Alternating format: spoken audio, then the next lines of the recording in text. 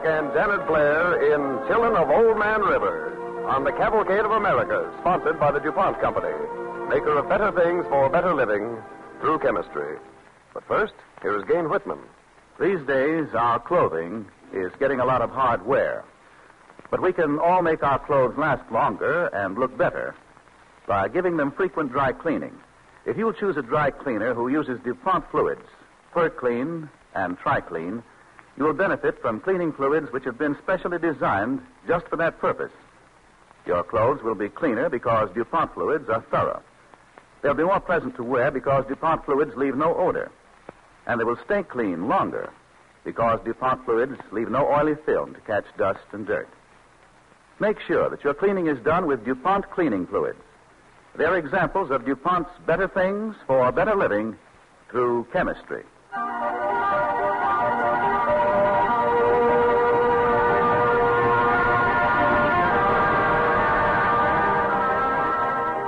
Company presents Children of Old Man River, based on the autobiography by Billy Bryant, and starring John Hodiak as showboatman Billy Bryant and Janet Blair as Josephine Costello on the Cavalcade of America.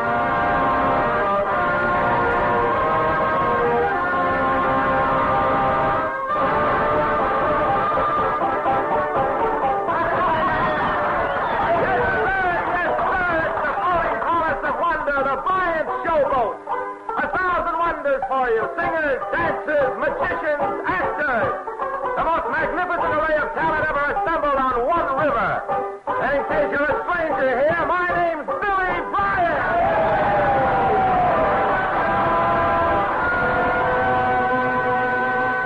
What? You offer drink to my sister, you cad? Curse you, I have come in time to save her from a life worse than death.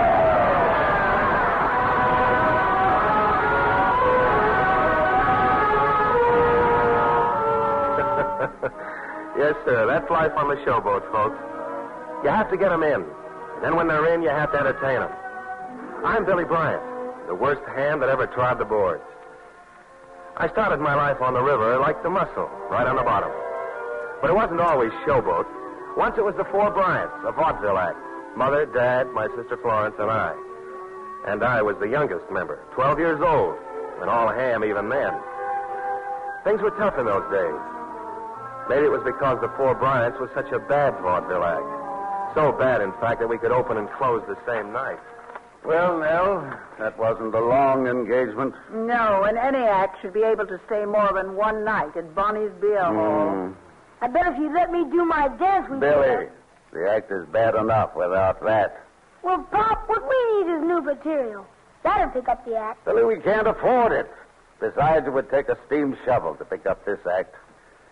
No, I'd better go back to the patent medicine wagon. Or my medicine act or magic act. You can't go back to the magic act, Pop. We ate the ducks.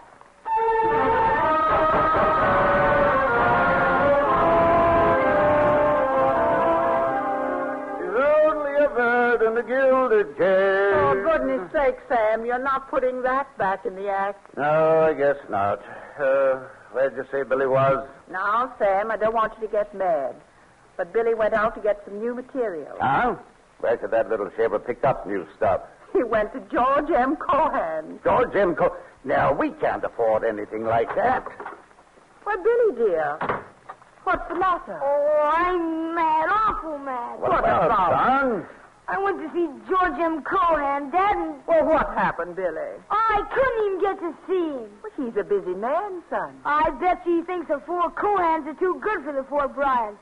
He's a stuck-up guy. Now, Billy. Son, the longer you're in this business, the more you'll realize that whatever you do, you'll have to do for yourself. Maybe so, Pop. But someday I'm going to be bigger and better than George M. Cohan.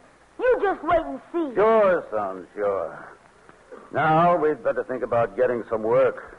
Uh, I answered an ad this morning. Oh, Sam, another one? Oh, this is different, my dear. It's still in show business. It was for vaudeville people to do turns on a showboat. A boat? Now, Sam, you know that we Now can't we've been to- all over the land trying to get bookings. The water's our last chance.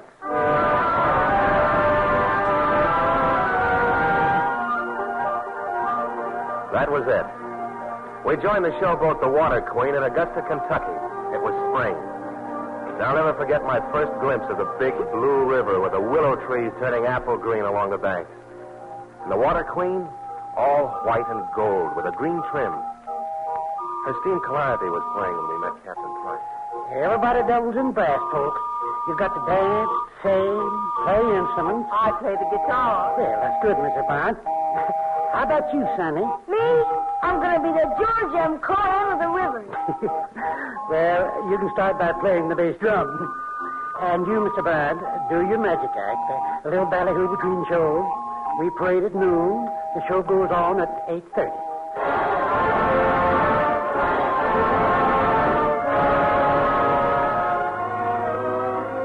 Well, one season on the Water Queen, playing everything from Uncle Tom's Cabin to East Lynne, and we were part of the river. The people liked us, and we loved them. The years passed, and we got our own showboat, the Princess. I was about 20 then, and the dude of the river.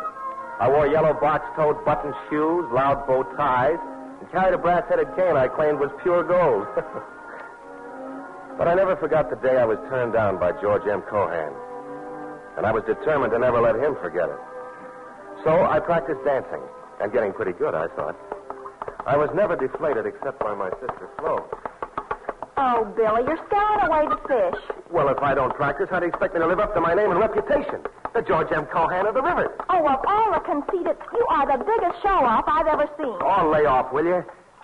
Hey, what's that? Bottle. I fished it out of the river. It's got a note in it. Well, open it. Can't. Haven't got a knife. Oh, here, give it to me. You cut yourself. I didn't, did I? Just lucky.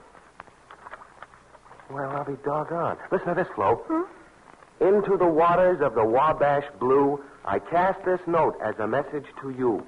It comes from a lonesome girl in her teens who has been cast aside by the man of her dreams. Of all the silly things. Oh, wait a minute, there's more.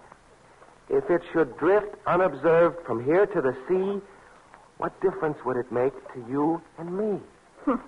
Probably some old maid about a hundred with a face like a scared mudcat. Jealous again, huh? Is that so? Well, if anyone's jealous, it's you, Mr. George M. Cohan. You know, I think I ought to answer this note. There's an address at the bottom. Well, you go ahead. I hope you get mixed up with something just awful. It serves you right. You're so conceited. Well, let me see. Um, roses are red, violets are pink. Uh, no. Uh, I am the pirate that discovered your note at the head of Dog Island, and this is no joke.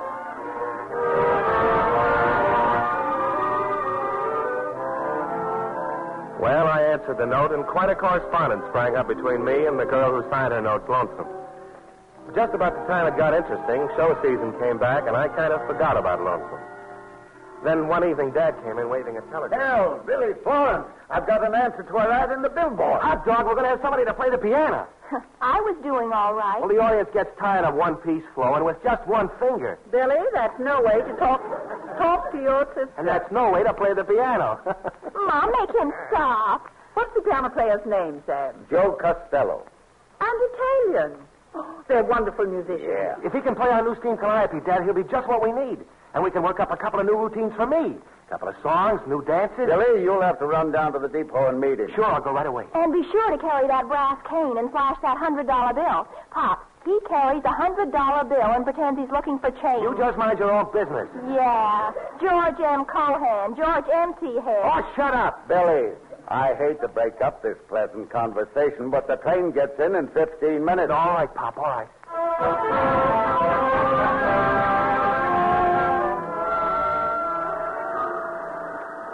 Hey, uh, conductor. Yes, son? My name is Bryant. Billy Bryant. I'm in show business. Own a showboat. Well, ain't that nice? Well, I work for owns a railroad. Oh. Uh, you, you got an Italian fellow on board. Uh, a piano player? Now, how could I tell an Italian piano Well, player? then, uh, are there any passengers for this stop? Just one. Well, that's him. Where is he? Ain't no him to her. Oh. You sure you haven't got a. Uh, Conductor, is all my luggage off? Yes, ma'am. Thank you. Goodbye, ma'am. oh, uh, conductor. Uh, what now, son? Uh, can you, uh, change a hundred dollar bill? Sure can. Just step right over here. Oh. Oh, well, well uh, uh, never mind. I've got some other change. I thought so. Oh, Oh, uh, uh, excuse me, miss. Can I be of any assistance? Hmm? Oh, uh, no, I don't think so, thank you. My name is Bryant, Billy Bryant. I'm in show business. Hmm. How do you do? May I buy you a cup of coffee? Um, I'm afraid you wouldn't have uh, change. Oh. Uh, well, uh, I, uh, Excuse me, it's uh, been so nice meeting you, Mr. Uh... Bryant, Billy Bryant. I'm in show business. Oh, yes, yes. Well, goodbye. Now, there's a gal. Oh, meet him once and never see him again. Well, that's show business for you.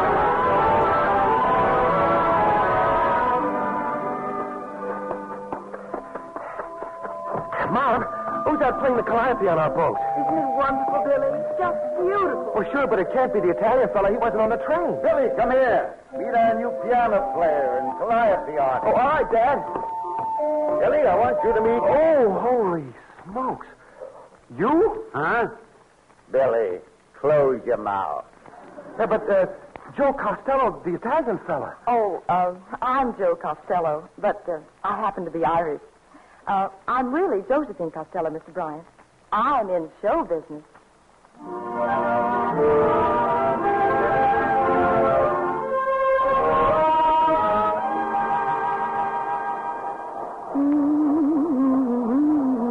Joe.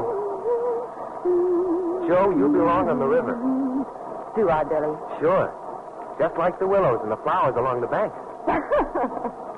What are you laughing at? Oh, Billy, you had that speech all prepared, didn't you? Honest, I didn't. I made it up just then. No, you didn't. Well, well, maybe I did think about it a little before tonight. I thought so. Oh, Joe, can't you forget that day at the station? That was a long time ago. Things have changed. Well, you haven't changed any, Billy. Why should I change? Well, you could grow up. What? You've never grown up, Billy, beyond 12 years. What do you mean? Look, you're still calling yourself the George M. Cohan of the river, aren't you? What's that got to do with us? And why shouldn't I call myself that? Because George M. Cohan is one person, and you're another. Isn't it about time you learned to be just Billy Bryant? Well, who told you about? About George M. Cohan? Yeah. Flo. But really, Billy, she didn't mean to make fun of you. Well, look, Joe. When I was a little kid, George M. Cohan turned me down when I wanted him to write an act for the Four Bryants. And ever since that day, you've tried to imitate him. You've tried to be an actor, a dancer, a singer. Look, Joe, I'm crazy about you. You know that. Billy, Billy, you're supposed to be steering the boat with two hands. Ah, this boat will steer itself. Billy, be careful. Honest. Joe, ever since the day I saw you in the station. Don't you dare try to kill me. Joe. Joe, please. I warned you. Hey, hey, you're sounding the distress signal. Put both hands back on the window. Joe, please. Joe, for Pete's sake, stop it, please. What in thunder's the matter up here? Who's blowing that whistle? Hey, what's the matter? Oh, uh, Dad, I. Who Uh, blew the distress signal? I did. And you can ask the George M. Cohan of the river why. Goodbye, Mr. Cohan. oh, Joe, Joe, please wait a minute. Please, Joe. Somebody grab that wheel. Billy, look out that rope,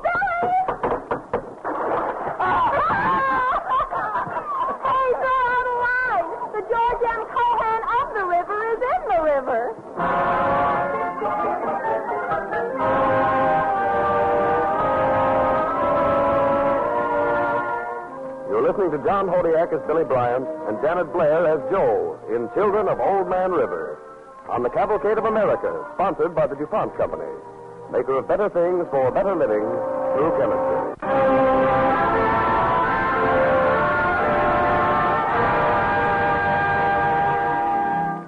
As the second part of our story opens, the showboat Princess is tied up opposite a sugar plantation in the deep south.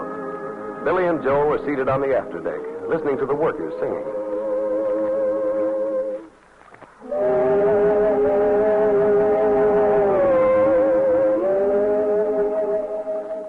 Joe. Joe, I wrote a letter that I want to tell you about. A letter? To whom, Billy? To George M. Cohan. Well, what about the letter? Well, I told him that he didn't know me, but that I knew him from seeing him. And, Yes. Go on. What else? well, well, Joe, I owned up to being jealous all these years because he wouldn't write that act when I was just a fresh kid. I apologized to him for feeling the way I did. Oh, Billy. Did you really? Mm-hmm. I figured it wasn't right for a person to hold a grudge like that over something that happened so long ago. Mm-hmm. Say, Billy, um, I'm going to tell you something. You. Hey, you're not in love with somebody else, are you? Mm-mm. Are you? Me? Holy catfish, Joe, how can you ask that? Well, I, um, I thought maybe you might have a secret correspondence with someone that maybe you haven't told me about. Secret call. Oh. Honest, there was nothing in it. Nothing at all. Are you sure? Sure, I'm sure. Well, that, that was some silly little girl who, who was probably ugly as a mud cat. Am I ugly, Billy? You? Oh, Joe, you're beautiful. Why'd you say that? Into the waters of the Wabash Blue, I cast this note as a message to you. Oh. It comes from a lonesome oh. girl in her. Oh, no, dream. no, Joe, honest. Was that you? Yes, Billy, it was. And you knew all along that I was the one who. You, Joe? Are you angry, Billy? Angry? Oh, oh, hey, hey, Mom! Dad! Billy, Oh. no! Let go!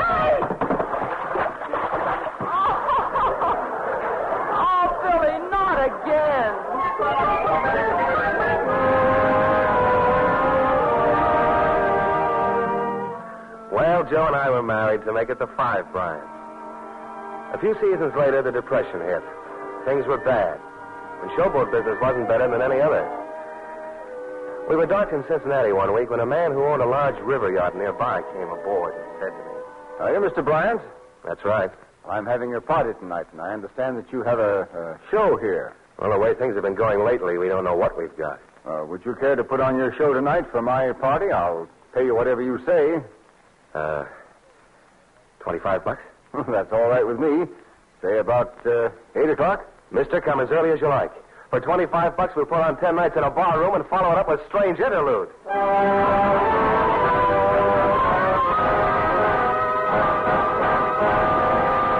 No! No, do not say that. Drink has cursed me. Demon rum has stilled my soul and glutted my mind. Ten nights have I spent in this bar room. Aha, Ned Morgan, here you are. I have come to collect the mortgage. Now go and get the money. No, no, he is my husband. Though Demon Rum has claimed him, yet I love him still. I go when I return later. And you, my beauty, you have one way to avoid my taking the mortgage. How do you like that? They're laughing in the wrong places. They're making fun of our act. But Billy, they're having a wonderful time. You hear that? For two cents, I'd give them back their 25 bucks and toss them off the boat. Oh, no, Billy, they're enjoying it. And they gave you a wonderful reception when you made your curtain speech. But they're making fun of Dad and Flo. We did this act before. Nobody laughed. Who do those people think they are? Billy, Billy, it's time for your turn. I won't go on again. I'm through being laughed at. Oh, Billy, please, you've got to make your curtain speech. I will not. I'm an actor, not a clown. They can find their way off the boat, and I don't care if I ever see them again.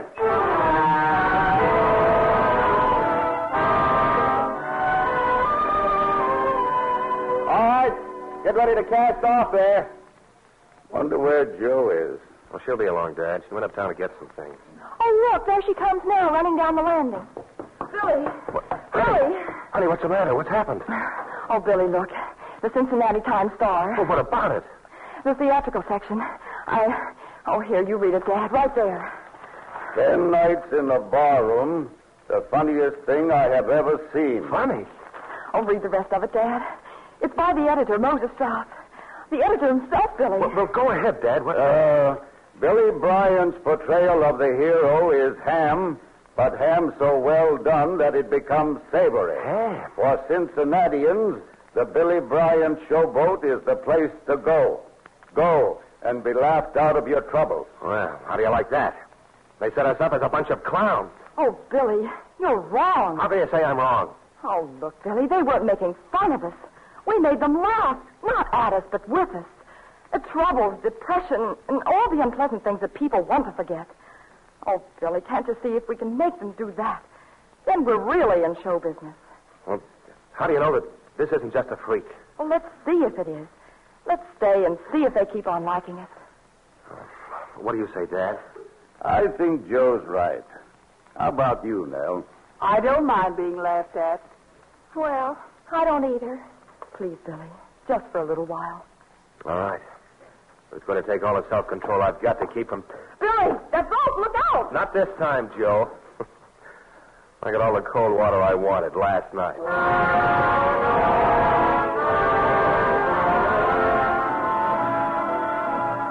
Well, that's how it was. We stayed on in Cincinnati and hung out the SRO sign every night. Then Chicago, and finally, Broadway. We didn't change a thing in the show, and it went over big. And one night after the performance, somebody knocked at our dressing room door. Holy mackerel. George M. Cohan. Yeah, I've been wanting to meet you, Billy. Well, uh, uh, th- this is my wife, Mr. Cohan. Uh, how do you do, Mrs. Bryan? Mr. Cohan. Billy, you wrote me a letter a long time ago, didn't you? Well, yes, I did. You know, that letter came at a time when I was pretty far down in the dumps. I was discouraged, lonely. Oh, we read about your wife's death. We were really very sorry. Well, thank you. Billy, you wrote me that I turned you down when you wanted me to write an act for you. Oh, please forget that. I was just a fresh kid. I should have known better. Well, I'm sorry about it, Billy. Oh, no, Mr. Cohan. Billy realizes how silly it was. No, I don't think it was. Anyhow, you don't envy me anymore, do you, Billy? Well, no, I guess not. now the shoe's on the other foot. I envy you. What do you mean? I envy your life on the river, Billy. And you know, someday I'd like to dig out one of my old plays and bring it to your showboat. We'll make a summer of it, all the way from Pittsburgh to New Orleans. What do you think? Uh, George, anytime you feel the urge, the Floating Palace of Wonder will be honored to have you aboard. Play or no play. Well, thank you, Billy, Mrs. Bryant. And thanks for seeing me. I'll probably catch the show again tomorrow. Well, good night. Oh, Billy, I think I'm going to cry. That wonderful man. And to think that was the man I've been jealous of for all those years. Oh, Billy. Honey, what's the matter? Billy, it's it's spring, and the dogwood's coming out along the river. Yeah. The willows will be turning apple green again. Mm-hmm. Say, Billy, can you hear a calliope? I guess we both hear one. I I miss the river people, Billy. Our people. Dad doing his magic act. And Mom and her guitar. Yeah. Flo and her dance. Those warm spring nights. The Negroes singing on the levees. Oh, Billy. Billy, I miss the river. Joe, we're not going to miss it anymore. We've hit Broadway. Now let's go back to our own. That's our life, Joe. Oh, darling, I've wanted you to say that ever since I saw the first robin. Then it's back to the river, honey.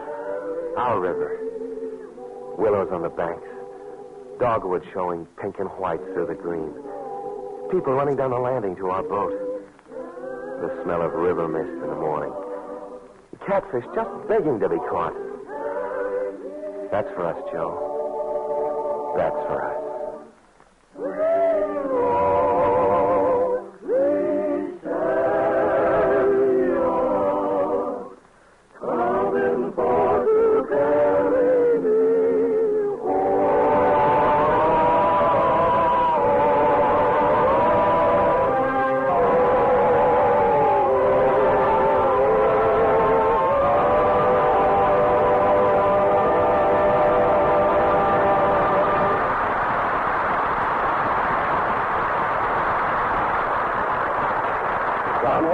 Janet Blair will return to our cavalcade microphone in a moment.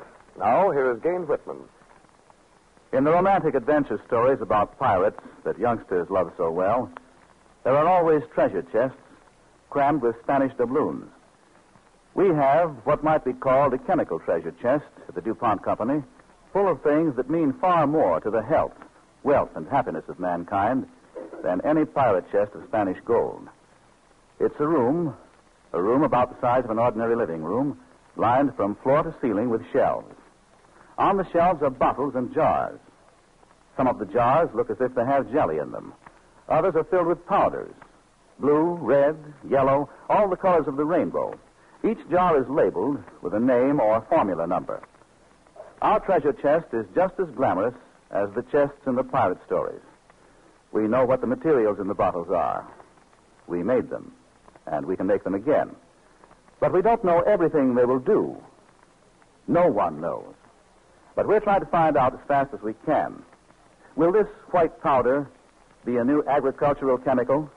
Will that gray powder become the basis of a useful drug? for which medical science has long been searching? Only time will provide the answers. Doctors and other scientific investigators come to us for compounds they can't buy or can't make. They may ask for a sample of a quaternary ammonium salt, or we may get a letter with a long chemical name in it saying, Can you supply 50 grams of 2 amino 8 naphthol or 3 6 disulfonic acid? And quite often, we can supply men engaged in research with otherwise unattainable materials which they need in their studies. When the Department of Agriculture was working on phenothiazine, now regarded as an outstanding medicine for farm livestock, DuPont furnished government scientists with the sample they needed. When an American physician returned from London with the first report of the marvelous sulfa drug, it was our research laboratories that were able to supply the laboratory of the Johns Hopkins Hospital with their first sample of sulfanilamide. New and valuable uses often come after years of research effort. It was about 70 years after DDT had first been made that its usefulness as an insecticide was discovered. DuPont is trying its level best to open new possibilities as rapidly as it can for the things in its chemical treasure chest. And there's no telling what continued research may bring forth in the way of DuPont better things for better living through chemistry. A minute, Gayne. Yes, John? Uh, that was uh, nice going and very interesting, but uh, you've never been on a showboat, have you? well, no, I haven't. Why? Well, uh, there was something. Oh, I don't know how to explain it. Uh, it needed a touch, the Billy Bryant touch. For example? Well, uh, well, let's see what else you've got there. There, here you are, John. Thanks. Oh, now listen. Yes, sir. Ladies and gentlemen, this is Billy Bryant Hodiak reminding you that next week the Cavalcade of America will present the one and only Walter Pidgeon. See what I mean, Gayne? Punch, showmanship. Uh huh. Well, go on. Okay. Next week, Walter Pidgeon starring in Remembered Day, a story about Abraham Lincoln. Mm-hmm. See, that's good. Or, uh, yes, sir, yes, sir. Miss Janet Blair appears through the courtesy of Columbia Pictures and can presently be seen starring in the Columbia musical Tars and Spars. Well, why don't you speak for yourself, John? Well, what do you mean, Pris- I mean, Janet? well, you listen to this. yes, sir, yes, sir. This is Mrs. Billy Bryant Blair reminding you that John Hodiak may currently be seen in the Metro Goldwyn Mayer Technicolor musical, The Harvey Girls, the one and Well, will you only excuse me? Yes, Yes. James. This is Cavalcade of America Whitman reminding you that we have to get off the air sometime. And thanking you, John Hodiak and Janet Blair, for being with us tonight.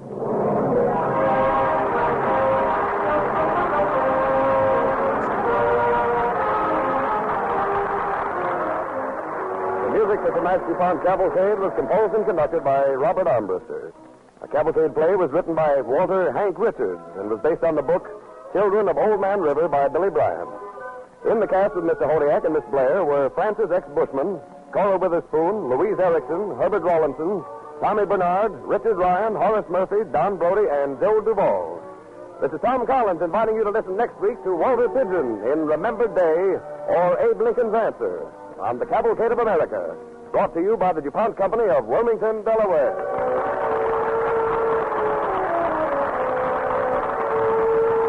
This is NBC, the national broadcasting company.